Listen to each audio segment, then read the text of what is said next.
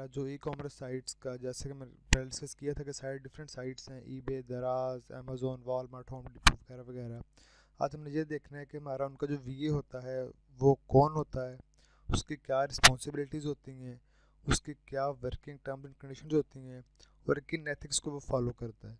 और किन पॉइंट्स को वो फॉलो करके एक अच्छा वीए बन सकता है? और साथ साथ हम ये भी देखेंगे कि हमारे पास जो वी की डोमेन है, इस डोमेन के अंदर टोटली कम्प्लीटली क्या क्या काम आता है और एक वी ए कहाँ से लेके कहाँ तक काम कर सकता है? तो हम स्टार्ट करते हैं। सबसे पहले हम ये देखते हैं कि हु इज़ वर्चुअल असिस्टेंट कि वी ए क्या होता है?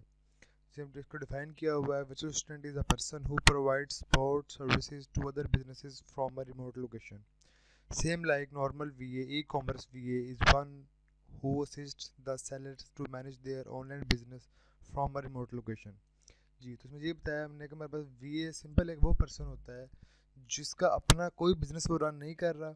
हाँ कोई मतलब बता जो दूसरे बंदे कोई बिजनेसमैन अपने बिज़नेस रन कर रहे हैं, उनके बिज़नेस को वो मैनेज करता है और उन्हें अपनी मल्टीपल सर्विसेज़ प्रोवाइड करता है। अब वी ए के जो मल्टीपल सर्विसेज़ हैं, उनमें से अगर आपको एक सर्विस प्रोवाइड करें, दो करें, पाँच, दस, बारह या कपड़े छोटे सर्विसेज़ आप प्रोवाइड करें तो आप वो काम कर सकते हैं। जस्ट वीए का जस्ट वीए वो होता है जो एक रिमोट लोकेशन मतलब आप किसी बिजनेसमैन के ऑफ़िस में नहीं बैठे हुए, आप एज अ वर्चुअल असिस्टेंट किसी रिमोट लोकेशन पे अपने घर में या अपने किसी पर्सनल ऑफ़िस में बैठ के किसी बिजनेसमैन के पास असिस्टेंस कर रहे हैं then you are a V A हम आगे देखते हैं कि मेरे पास वर्चुअल असिस्टेंट की जो सर्विसेज़ हैं, वो कौन कौन सर्विस वर्चुअल असिस्टेंट प्रोवाइड करता है। अब आप देख स्क्रीन पर सामने देख रहे हैं कि हम यहाँ पर एक लंबी लिस्ट नज़र आपको आ रही है। ये जो वीए है, उसकी कंप्लीट सर्विस लिस्ट मैंने आपको यहाँ पे दी हुई है। अब सबसे पहले मैं ये बात, मैं क्लैरिफाई क्लियर यहाँ पे कर दूँ कि बहुत समय उम्मीद लगता है लोगों के क्वेश्चन भी आएँगे कि जो लिस्ट है वी ए क्या है, सारे काम करेगा। अगर हम, हमें तो ये नहीं आता, हमें वो काम नहीं आता, हम ये कैसे करेंगे? आपने सिर्फ़ ये याद रखना है कि ये कंप्लीट लिस्ट है जो वी ए की रिस्पॉन्सिबिलिटीज़ होती हैं। आप इनमें से कोई भी एक, दो, तीन या सारी की सारी सर्विस ऑफ़र कर सकते हैं। अगर इसमें से कोई बंदा, कोई भी सिर्फ़ दो सर्विस ऑफ़र कर सकता है तो वो एज अ वी ए काम कर सकता है। ठीक होगा जी क्लियर हो गया। चलिए अब आगे चलते हैं। अब हमारी सर्विसेज़ एक बार देख लें क्या है। सबसे पहले तो जी वो होती है सर्विसेज़ की क्या होती है? सेलर अकाउंट मैनेजमेंट इसमें क्या होता है कि जी जो आपका बिजनेसमैन है जो अपना बिज़नेस रन कर रहा है, उसका जो ई कॉमर्स स्टोर है, उसके अकाउंट की टोटल मैनेजमेंट आप कर रहे होंगे। मतलब कोई ऑर्डर आ रहा है डिलीवरी जा रही है न्यू ऑर्डरिंग आपने करनी है, आपने अपने प्रोडक्ट्स को रेडी करके वेयर उसमें शिप करना है या अपने पास स्टोर करना है ईच एंड एवरी थिंग इसमें इंक्लूड हो जाएगी। कि जो कंप्लीट सेलर अकाउंट है, उसकी टोटल मैनेजमेंट आप कर रहे होंगे। नंबर टू पे आता है हमारे पास प्रोडक्ट हंटिंग कि अगर बिज़नेस मैन है, उसने एज वी हायर किया हुआ है, वो कोई न्यू प्रोडक्ट लॉन्च करने जा रहा है। वो जस्ट आपको ये बताएगा कि यार मैं ये मेरी प्रोडक्ट है और मैं अपनी प्रोडक्ट इस कैटेगरी में लॉन्च करना चाह रहा हूँ। तो मुझे अब प्रोडक्ट मुझे प्रोडक्ट हंट कर दो कि ये कौन सी प्रोडक्ट है, जो मैं हंटिंग करके बता दो कि ये प्रोडक्ट मेरी अच्छी रैंकिंग में जाएगी, इसकी सेल्स अच्छी होंगी, और मोस्टली ये राउंड द ईयर डिमांड में रहती है, ये मतलब ये सीजनल प्रोडक्ट नहीं है। जैसे फॉर एग्जांपल हमारे पास कोट्स हैं जैकेट्स हैं these are seasonal items in garments और सिमिलरली ये हमारे, इनकी डिमांड सिर्फ़ होती ही सर्दियों में। है सिमिलरली हमारे पास जो शॉर्ट्स होती हैं, या टी शर्ट्स हैं स्लीवलेस हैं उनकी डिमांड होती है गर्मियों में, समर सीज़न में डिमांड उनकी होगी, वो भी सीजनल आइटम्स हैं। नंबर टू हमारे साथ है प्रोडक्ट लिस्टिंग इसका मतलब ये है कि जी आपने एक प्रोडक्ट सर्च कर ली हुई है, वो हंट हो गई है, उसकी आपके पास गिग इमेज वो सॉरी प्रोडक्ट इमेज वगैरह कंप्लीट रेडिंग है आपके पास। उसके आपके डिस्क्रिप्शन का सब कुछ लिखा हुआ है टोटल कंप्लीट काम है। आपने जस्ट ई कॉमर्स स्टोर पर जाना है और जो उसके प्रोडक्ट आपको दी हुई है, वो प्रोडक्ट आपने जाकर उसकी स्टोर के ऊपर टोटल प्रोडक्ट आपने उसको लिस्ट करनी स्टार्ट कर देनी है।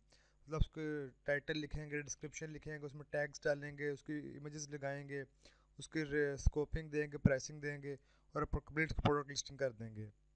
नंबर मेरे पास आता है नेक्स्ट हमारे पास आता है कि लिस्टिंग ऑप्टिमाइजेशन कि एक, ये जस्ट अगर ये एक काम भी है तरह भी प्रोडक्ट हंटिंग है लिस्टिंग है लिस्टिंग ऑप्टिमाइजेशन है आपकर आप, आपका में कोई भी सिर्फ़ एक काम भी आता है तो you will be successful V है देन मेरे आता है लॉन्चिंग एंड रैंकिंग कि आपने जो कोई आपका बिज़नेस मैन प्रोडक्ट लॉन्च कर रहा है, वो आपका जो वी रख लेता है कि जी मैं अपनी प्रोडक्ट लॉन्च कर रहा हूँ। मेरे लॉन्चिंग के बाद मैं फिर प्रोडक्ट की रैंकिंग ले दूँ। रैंकिंग से मुराद क्या है कि जो मैं प्रोडक्ट अपनी सेल करने जा रहा हूँ, मैं, मेरी ये प्रोडक्ट टॉप सेलर्स में शो नहीं लग जाए। लाइकली कि जिस हमने देखा है कि जब आप कोई भी चीज़ अपनी सेल करते हैं, जब इवन कि जब हम चीज़ें अपने परचेज़ करते हैं, हम ये देखते हैं कि जब हम किसी पेज पर जाएँ स्टोर पर जाते हैं, कि जो चीज़ें पहले एक दो पेजेस पर आ रही होती हैं, हम उनमें चीज़ें अपनी चूज़ करते हैं और उसको हम ऐड टू कार्ट करके चेकआउट कर लेते हैं। और उसे परचेज़ कर लेते हैं। तो रैंकिंग की यही मुराद है कि आपने उस प्रोडक्ट को रैंक करके ऊपर ऊपर लेते आना ताकि वो पहले एक या दो मैक्सिमम दो पेजेस में आपके प्रोडक्ट शो हो जाए। देन बात है कीवर्ड सर्च कि आपने सर्च करना है कि जी अब ये प्रोडक्ट हमारी है, हम इस प्रोडक्ट को सेल करने जा रहे हैं, हमने इसे ई कॉमर्स स्टोर पर लॉन्च करना है। कौन कौन से ऐसे कीवर्ड हैं जिनको लोग मोस्टली यूज़ करके इन प्रोडक्ट्स तक पहुँच रहे हैं? देन आप आता है कंपेटर एनालिसिस आपने ये देखना है कि जो हम ये प्रोडक्ट हम लॉन्च कर रहे हैं, ये प्रोडक्ट हमारी प्रोडक्ट ये है। और हमारा कंपेटिटर कौन कौन बैठा हुआ है, वो किस किस तरह, किस किस बिज़नेस टैक्टिस से अपने प्रोडक्ट सेल कर रहे हैं। आपने उनको कंप्लीट एनालिसिस करना होता है। देन आता है रिव्यूज़ मैनेजमेंट कि आपने रिव्यूज़ मैनेज करने हैं, कि आपको कोई भी इस पर गंदा या बुरा रिव्यू नहीं आना चाहिए। जैसे मैंने आपको पिछली वीडियो में बताया था कि हमारे पास मिनिमम रिव्यू वन है और मैक्सिमम रिव्यू जो आपके पास है वो फाइव है। हमेशा इसमें मोस्ट ट्राई होती है कि रिव्यूज़ आपके फाइव से ना गिरें। अगर बहुत चलें, गिर भी जाएँ तो सिर्फ़ एक या मैक्सिमम दो रिव्यूज़ आपको फोर स्टार आ जाए तो ठीक है। अगर ज़्यादा रिव्यूज़ आपको नीचे गिरेंगे तो डेफिनेटली आपकी प्रोडक्ट बहुत ज़्यादा उससे इफ़ेक्ट होगी। उसकी सेलिंग में बहुत ज़्यादा आपको डिक्लाइन देखने में नज़र आएगा। नेक्स्ट में बताता है पीपीसी कंपेन जो हमारे पे पर क्लिक इसमें क्या होता है? कि जी आपने रिस्पेक्टिव ई कॉमर्स साइट को पे करते हैं और वो आपके प्रोडक्ट ऊपर रैंक करके ऐड शो कर देता है कि जी उस पर फिर जी उस पर अकॉर्डिंग टू उस पर पेमेंट आपकी हो रही होती है क्लिक्स में, कि जितने लोग आपके प्रोडक्ट पे क्लिक्स कर रहे होंगे, उतनी पेमेंट आप रिस्पेक्टिव कॉमर्स स्टोर को कर रहे होंगे। जब ये बेसिकली आपका एक मार्केटिंग टेक्निक है कि जी आपने अपनी प्रोडक्ट जो है वो हाईलाइट करवाई हुई है।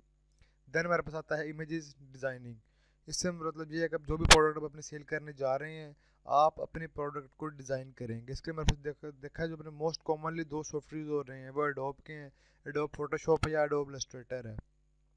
उसमें अपने क्या होगा कि जो आपके प्रोडक्ट इमेजेस अपने जो स्टोर के ऊपर प्रीव्यू में देनी होगी, वो आप डिज़ाइनिंग करेंगे, उनकी एडिटिंग करेंगे। नेक्स्ट मेरा बताता है ए प्लस कॉन्टेंट मैनेजर इसका मतलब ये है कि जी, जो आपने कंटेंट लिखने हैं कंटेंट से मुराद क्या है कि जो आपकी टाइटल है, जो डिस्क्रिप्शन है, जो कीवर्ड्स हैं जो सर्चिंग वर्ड्स हैं, जो टोटल ऑप्टिमाइजेशन आ रही है, वो सब आपका कंटेंट में काम आता है। कि आपने कंटेंट किस कैटेगरी का लिखा है, अब आपने इसमें मेन फोकस चीज़ ये होती है कि आप हमें टाइटल में डिस्क्रिप्शन में हमेशा वो लफ्ज़ लफ्ज़ और वो वर्ड यूज़ करने हैं, जो कि लोग बहुत ज़्यादा सर्च कर रहे हैं। नेक्स्ट आता है कोपन एंड प्रमोशन क्रिएशन कि आपने अपने स्टोर के ऊपर जाकर प्रमोशन क्रिएट करनी जैसे आपने देखा अक्सर प्रमोशन हम देखते हैं, हमारे सोशल मीडिया पर फेसबुक पर शो हो रही होती हैं कि जी buy three pants in rupees triple nine only जिस तरह की प्रमोशन आपने वो क्रिएशन करनी है देन आता है F B M orders management कि अगर आपका जो, जिसके साथ बिज़नेस आप एज अ वी काम कर रहे हैं, अगर वो अपना ऑनलाइन स्टोर चला रहा है फुलफिल्ड बाय मर्चेंट की तरह तो आपने उसके जो ऑर्डर्स हैं, उन्हें कम्प्लीटली आपने मैनेज करना है। जैसे ऑर्डर आ रहे हैं, आपने उस ऑर्डर को पैक करके डिस्पैच करना आपकी रिस्पॉन्सिबिलिटी होगी। देन आता है क्रिएटिंग एफ़ बी शिपमेंट्स जी अमेजोन के लिए है कि अगर आपने अपने कोई प्रोडक्ट लेके परचेज करके अमेजोन के वेयर्स में स्टोर की हुई है तो जब आपको ऑर्डर आ गया है तो आपने उसकी शिपमेंट थ्रू अमेजोन होनी है। आपको जस्ट आपने उसको मोनिटर करना होता है। कि जी मुझे ऑर्डर आ गया अमेजोन में प्रोडक्ट शिप कर दिया है प्रोडक्ट रिसीव हो गई है, और उसके आगे जो प्रोसेस होंगे, वो सारा अमेजोन खुद देख रहा होगा। जस्ट आपने प्रोडक्ट मोनिटर करना होता है कि मुझे इतने ऑर्डर्स आ गए हैं, मेरे इतने प्रोडक्ट्स जा चुकी हैं। सिर्फ़ उसमें फोकस अपने ये करना है कि मैंने एक सौ प्रोडक्ट अपने स्टोर की थी, और मेरे प्रोडक्ट सेल हो गई हैं। अगर आप उस प्रोडक्ट को आगे कंटिन्यू करना चाह रहे हैं तो आप उसके न्यू ऑर्डर डिमांड करके उनके वेरोस में भिजवा दें। नेक्स्ट आता है me too listing and wholesale supplier finding इसमें क्या जिसमें पहले डिस्कस किया था कि जी अगर एक प्रोडक्ट है, वो पहले ही अमेजोन पे सेल हो रही है। पाँच छः बंदे सेल कर रहे हैं, आप भी सेम प्रोडक्ट सेल करना चाह रहे हैं जाके अमेजोन के ऊपर, वो आपकी आती है मी टू लिस्टिंग में। इसे हम डिटेल में भी देखेंगे आगे। And wholesale spreads finding इसमें क्या होता है कि आप जो भी प्रोडक्ट आप अपने ऑनलाइन स्टोर पे ई कॉमर्स स्टोर पर जाकर लॉन्च कर रहे हैं और सेलिंग कर रहे हैं डेफिनेटली वो प्रोडक्ट आपने कहीं से बनवानी है। उसके लिए अपने होल सेल सप्लायर ढूँढने होते हैं कि कौन सा सप्लायर है जो मुझे प्रोडक्ट मुकम्मल कंप्लीट मैनुफैक्चर करके मेरी वहाँ पे अमेजोन के वेयर डिलीवर कर देगा। वो उनकी फाइंडिंग होती है। नेक्स्ट आप क्या थी ड्रॉप शिपिंग असिस्टेंट कि। आपको जो ड्रॉप शिपिंग आपने कर थ्रू अमेजोन कर रहे हैं, उसकी सिस्टम्स आपने करनी होती है। नेक्स्ट लास्ट में आपका आता है लिस्टिंग एरर फिक्सिंग कि आपने लिस्टिंग की हुई इसमें कोई एरर आ गया। जस्ट फॉर एग्जांपल कि अगर जी आपने कोई भी चीज़ है, वो फुलफिल्ड बाय मर्चेंट पे आप कर रहे हैं। जस्ट एज एन एग्जांपल ले लें कि जी आपने एक मोबाइल मोबाइल पाउच है, उसकी सेलिंग कर रहे हैं, आपने अपना एक सौ बीस बनवा लिया हुआ है तो आपको फुल फिल्ड मर्चेंट पे आपसे सेल कर रहे हैं, कर रहे हैं, जब आप देखेंगे कि जी आपकी इन्वेंट्री ख़त्म हो रही है और आपके पास जस्ट चार से पाँच पाउच रिमेनिंग है, फिर उससे बहुत फोकस्ड रहेंगे कि जैसे ही मेरा लास्ट मेरे पास ऑर्डर प्लेस हो, मैं फ़ौर अपनी लिस्टिंग को फॉर द टाइम प्रोडक्ट में क्लोज़ कर दूँ। ताकि ये ना हो कि मुझे दोबारा ऑर्डर मुझे लोग दोबारा ऑर्डर कर दें इस पर और मेरे डिलीवरी भेजने के लिए मेरे प्रोडक्ट मौजूद ना हो। इस तरह के अपने स्क्वायर्स को रुकना होता है। तो ये मेरे पास जो देखा भी डिटेल में, हमने हमारे टोटल जो हमारा ना ई कॉमर्स का जो वर्चुअल असिस्टेंट होता है, उसकी टोटल रिस्पॉन्सिबिलिटीज़ और रोल्स ये हैं जो सर्विस जो प्रोवाइड करता है, ये कंप्लीट लिस्ट ऑफ़ सर्विसेज़ है जो एक वी ए प्रोवाइड करता है ई कॉमर्स फ़ील्ड में। इनमें से अगर आपको कोई भी एक चीज़ के ऊपर भी अच्छी ग्रिप है तो you will be a very good V A फिर हम दिया, दिया बताया गया कि प्रोडक्ट हंटिंग है। जिसमें क्या होता है क्लाइंट आपके पास आता है सिर्फ़ आपको ये बता देता है कि मुझे भाई मुझे ना फलां कैटेगरी में प्रोडक्ट लॉन्च कर रहे हैं। जैसे होम एंड एसेसरीज है किचन वेयर्स है गारमेंट्स है एंड सो उन्होंने बताते मैंने मैंने अपनी इस कैटेगरी का प्रोडक्ट लॉन्च करना चाह रहा हूँ तो मुझे तुम मेरे ना प्रोडक्ट हंट कर दो सर्च कर दो। ये एक बहुत बड़ी फ़ील्ड है अमेजोन के लिए स्पेशली फॉर अमेजोन तो उसमें आपने प्रोडक्ट हंटिंग करी उसके आपको अच्छी खासी पेमेंट मिल जाती है। अब जो जितने, हम जितनी चीज़ें पढ़ेंगे, हम आने वाली वीडियोज़ में इन हर चीज़ के बारे में डिटेल में डिस्कशन करेंगे कि हर चीज़ के बारे में कौन सी चीज़ क्या होती है और इनमें से कुछ टॉपिक्स का हम इंशाल्लाह आगे जाके हम प्रैक्टिकल जो मैं आपको वीडियोज़ में करके दिखाऊँगा कि प्रैक्टिकली अमेजोन के वेबसाइट पर जाकर आप किस तरह काम करेंगे। नेक्स्ट हमारे बताते हैं जी एथिक्स ऑफ़ वर्चुअल असिस्टेंट कि मेरा जो वी ए होता है जो आपने हायरिंग कर ली है, अब आप वी ए बन गए हैं, आप काम कर रहे हैं, आपने किन एथिक्स को फॉलो करना होता है? सबसे पहले जी इसमें ये होता है कि जी आपने आप जो क्लाइंट्स हैं कलीग्स हैं या बिजनेसमैन क्लाइंट्स हैं मतलब जो बिजनेसमैन से डीलिंग कर रहे हैं और कोलीग्स आपके आ गए हैं, आपने उनसे नस्टली चलना है।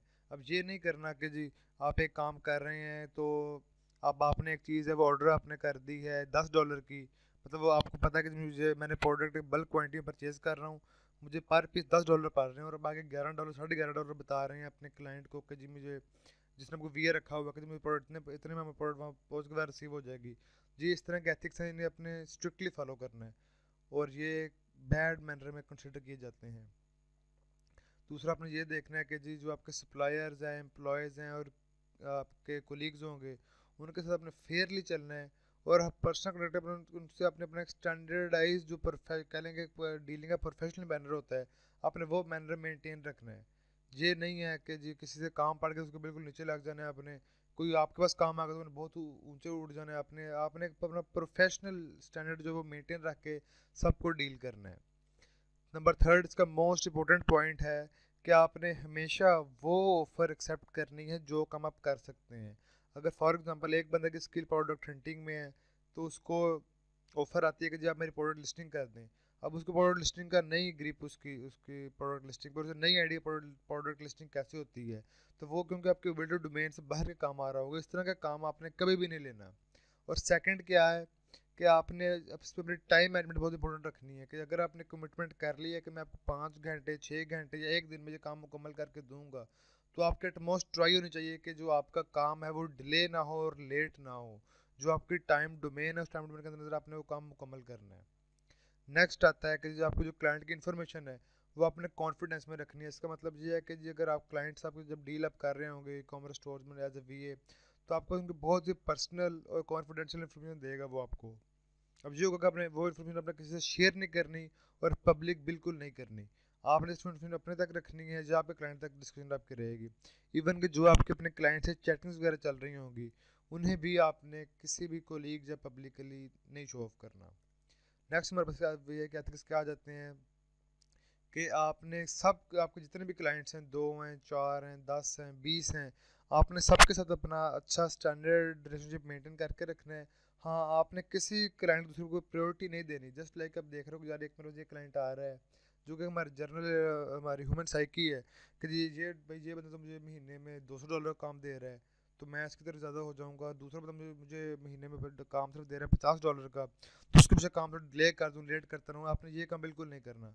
आपने ये करना है कि जब स्टार्ट में डिस्कशन होगी, जब आपने उसे रेट डिसाइड कर लेना है। जब आपको दोनों का म्यूचुअल रेट एक डिसाइड हो जाएगा काम मुकम्मल करने का वर्किंग का तो आपने दोनों को इक्वली टाइम दे के इक्वली रिस्पेक्ट से और इक्वल लेवल के रिलेशन दोनों से मेंटेन रखेंगे। देन आता है कि जी आपकी प्रोफेशनल ग्रूमिंग के लिए नेक्स्ट पॉइंट जो हमारा जिसे हम कर रहे हैं, कि आपने एक कमिटमेंट रखनी है कि आपके पास जो नॉलेज और जो स्किल्स हैं, आपने उन्हें for the time being enhance करते रहना है और प्रोफेशनली अपने आप को ग्रूम और इम्प्रूव करते रहना है। इसका बेनिफिट क्या होगा कि अगर आप आपको अपने आप को टाइम टू टाइम इम्प्रूवमेंट अपनी पर्सनैलिटी में डेवलपमेंट में लेके आते जाएँगे, खासकर प्रोफेशनल ग्रूमिंग में तो आपका बेनिफिट आपको क्या होगा कि जो लेटेस्ट टेक्नोलॉजी जो न्यू ट्रेंड्स आ रहे हैं आप उन सबसे बड़े वेल अवेयर रहेंगे और आपको कभी भी इस तरह कोई काम करने में बिल्कुल मसले मसाइल पेश नहीं आएँगे। और अगर आप अपनी पर्सनल ग्रूमिंग को छोड़ देंगे प्रोफेशनली बस जितना काम सीख लें इतना काम काफ़ी है, मैं करता रहूँगा।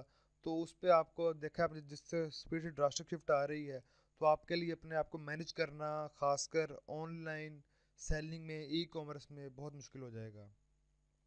नेक्स्ट से क्या आता है कि जी आपने किसी भी इलीगल या अनएथिकल एक्टिविटी में इन्वॉल्व नहीं होना।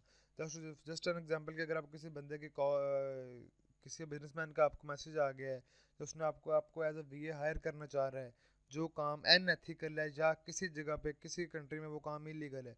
जस्ट एज एन एग्ज़ाम्पल ले लें आप कि पाकिस्तान हमारे नाकोटिक्स वगैरह हो गए हैं ड्रग्स हैं जो स्ट्रिक्टली बैन है। अगर वो बंदा कह रहा है कि जी मैंने पाकिस्तान में उसने ड्रग्स सेल करनी है जिस तरह कोई काम करना है तो आपको पता है कि ये काम इलीगल भी है और अनएथिकल भी है। इस तरह काम अपने बिल्कुल इन्वॉल्व नहीं होंगे। हाँ जहाँ जिस टेरिटरी हो, जिस कंट्री में जो काम लीगल होगा, जस्ट आपने उस काम की तरफ़ फोकस करना है और सिर्फ़ आपने उसके लिए ही कमिटमेंट करनी है। लास्ट का पॉइंट क्या आता है? वो आपका पॉइंट है कि जब बजट इंडस्ट्री को प्रमोट करेंगे और प्रोफेशनलिज्म के साथ चलेंगे। और आप जो आपका, जो आप नॉलेज गेन कर रहे हैं उसके it will be much better कि आप नॉलेज अपने दूसरों के साथ शेयर अपना नॉलेज करें और ये हकीकत बात है कि अपन नॉलेज शेयर करने से कभी भी आपको नुकसान नहीं होगा। हाँ ये ज़रूर होगा कि दूसरे को आपसे फ़ायदा हो जाएगा बट उसमें आपका अपना कोई किसी किस्म का नुकसान नहीं होगा। तो ये हमारी टोटल आज की वीडियो थी। इसमें हमने टोटल देख लिया कि मेरा वी क्या होता है, उसकी क्या रिस्पॉन्सिबिलिटीज़ हैं क्या सर्विसेज़ प्रोवाइड करता है और उसके एथिक्स क्या हैं। अगर आपके इसके बारे में कोई इशू या कोई कंसर्न है तो आप कमेंट कर दें। मैं उसका इंशाल्लाह आपको विद इन डे रिस्पॉन्ड आपको मैं कर दूँगा। अब नेक्स्ट वीडियो में से हम इंशाल्लाह अपना टॉपिक स्टार्ट करें, करेंगे अमेजोन का। और अमेजोन के बारे में कंप्लीट डिस्कशन करेंगे कि अमेजोन पे वी किस तरह काम करता है सैलरी किस तरह काम करते हैं और अमेजोन की वर्किंग क्या क्या टाइप्स हैं।